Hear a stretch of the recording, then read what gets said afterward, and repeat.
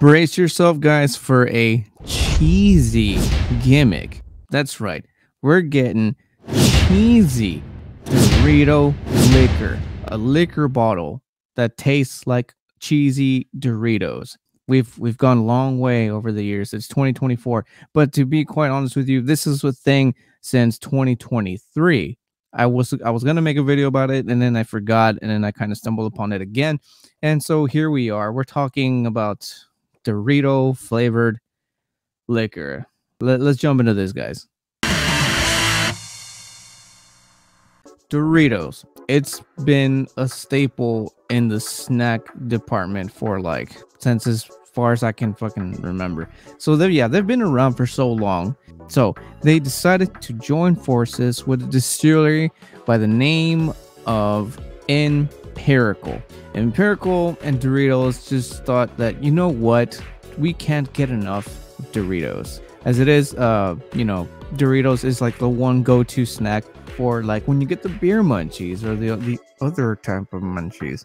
I guess it was kind of a no-brainer for this little collaboration to happen, but it's something that nobody, like not even myself, would have expected. But it's definitely new. It's definitely unique. It's definitely something worth looking into. Let's go ahead.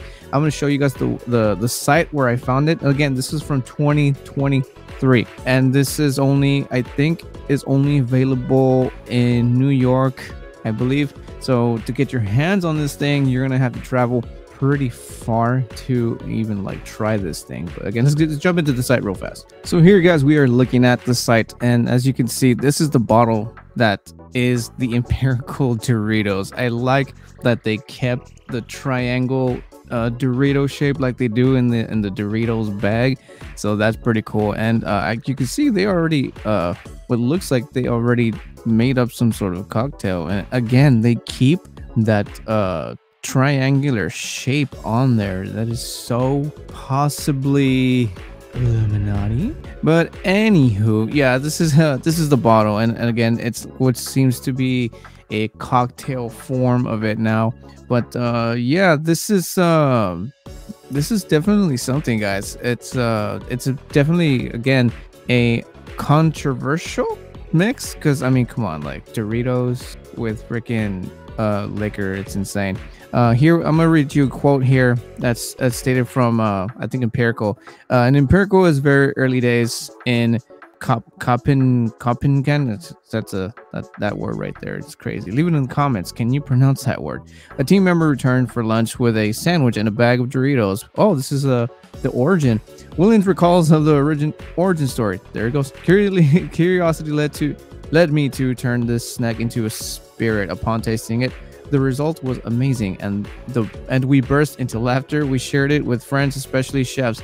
We would just give them a little glass without telling them what it was. The sheer joy in their face was amazing to watch. So that's pretty that's pretty cool the fact that this kind of just happened like just out of spite and just out of fun.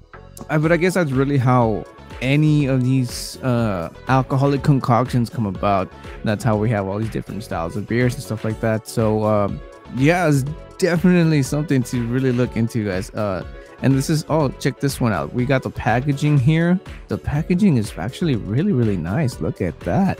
It is sick, bro. It is sick. It's it's definitely it's cool looking. Uh, again, I like the fact that they kept the Dorito triangular Dorito Illuminati sign or whatever you want to call it. So yeah, this this is definitely definitely something really really really cool. So as far as flavors go, this thing is uh according to this, they kept the cheesy and umami notes in there. So you're still getting what it essentially is the Dorito flavor in this liquor bottle. What type of liquor this is, I believe it is um I think it's a vodka, if I'm not mistaken. But I mean, as far as like the flavors, I mean, it's amazing the fact that they were just able to keep that uh, cheesy, corny flavor in it, which is again, it's weird. Um, it's not uncommon for a, a little slight corn in, into these types of or in liquors in, in general, but to have the Dorito, that's just like the, the biggest mind fuck of the of everything here.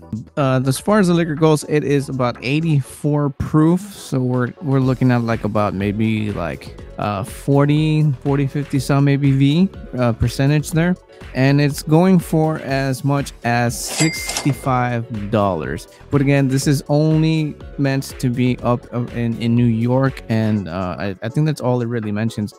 It, it's it's crazy one guys. But again this has been ha- this is was the thing i mean since 2023 but i mean you know we're in 2024 and um it's about that time that this uh this distillery and or doritos to really like branch it out right? It's, it's definitely something that would be that should be in this channel.